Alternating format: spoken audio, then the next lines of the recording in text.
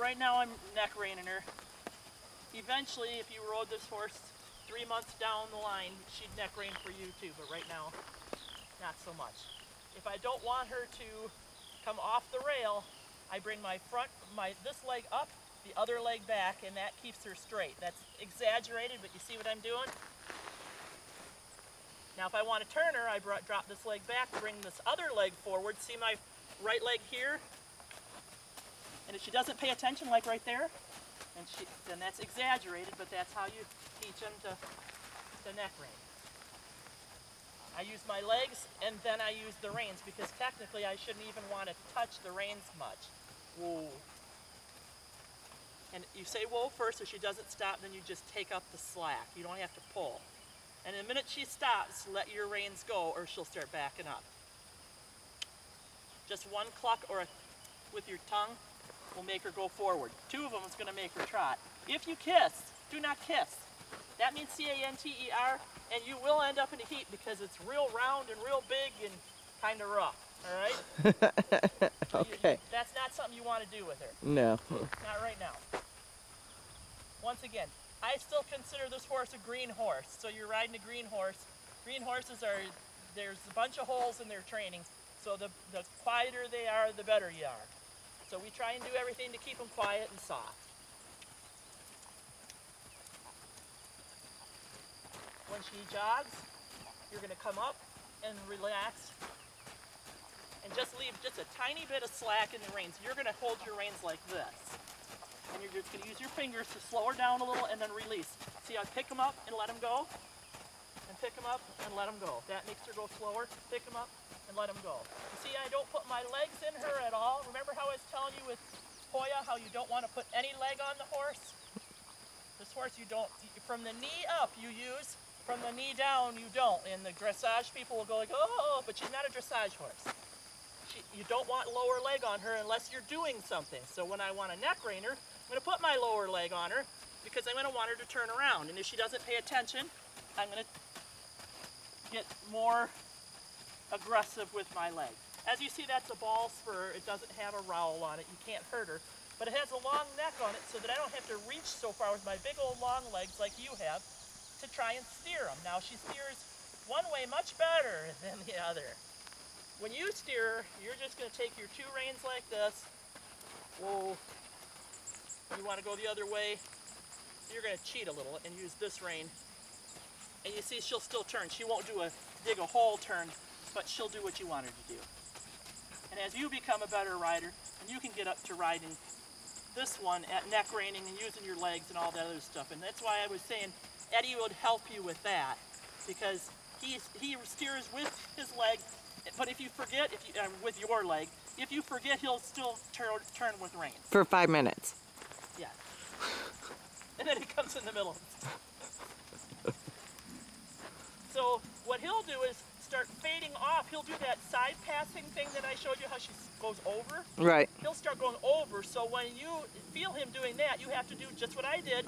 This leg up, this leg back, and that keeps him right on the rail. See? See how straight she gets? Now if I start going, uh, see? Now if I put my leg up, and this leg is back, because it keeps the hip from keeling out this way. Right. You don't put your spur on, you just bring the leg up. You're threatening to, okay? And as she keeps going, then you use the spur. And with Eddie, it'd be the same way. So they're all going to be kind of, anything you ride here is trained kind of the same. It's just various levels of training, whereas Eddie's much better trained than this horse. You don't have to get real aggressive with where you put your leg like I did with her. So you're going to just walk and jog today. So once again, she started out fast, so I pick up the reins and let him go. I pick up the reins and let him go. And then she, I picked him up too hard. So there's an example of why, of how I, I said you have to be real soft with your hands.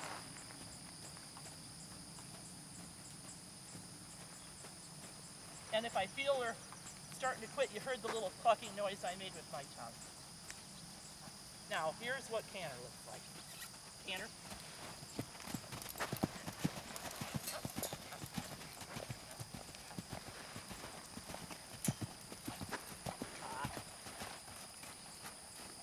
Like a clod hopper. No, it's big and round. It's vavoom. Everybody says she's got a beautiful canter. It's pretty to look at when you see it. It's just not pretty to ride. It's big and round. They're big footed horses, so they got to get up and out of their own way. You know what I mean? Mm-hmm. And then with her, I practice things to help keep her mind off just going around and around because she gets bored. Over, over, over, over, over. Whoa. I make her get real close because if I was going to open a gate, I'd have to be real close, right? Mm-hmm. A lot of horses don't get real close when you're doing obstacle training.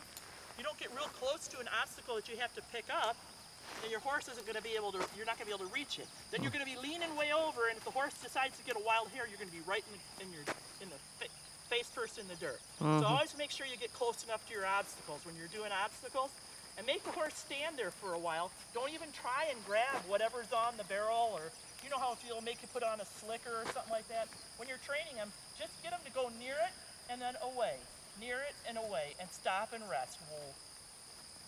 With her, you know, we want her to, to do a proper turn on the haunch. She still wants to move that hip the last point.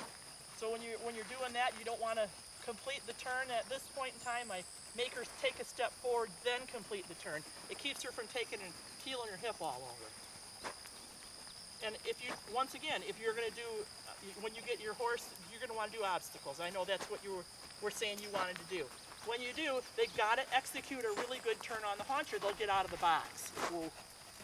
So when, when you teach a horse to turn on the haunch, what I do is I turn him into the rail, back. And now she put her hip over, so no, that's not what I asked. So I put my spur on her to bring her back out, whoa, whoa. And now I want her to turn.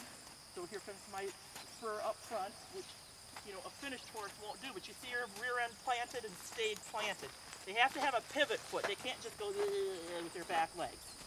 So that's why you stop, take a step back, get a pivot foot, and then she walked out of it a little, so I, that's why I give myself enough room so I can take her forward. If I were to just let her make a messy turn, here's what some people will do. They'll stop them. They'll say, I'm going to turn. See the back end go all over the place and then keep going. Oh, they didn't do that. Well, that's because you didn't set them up for it. Stop.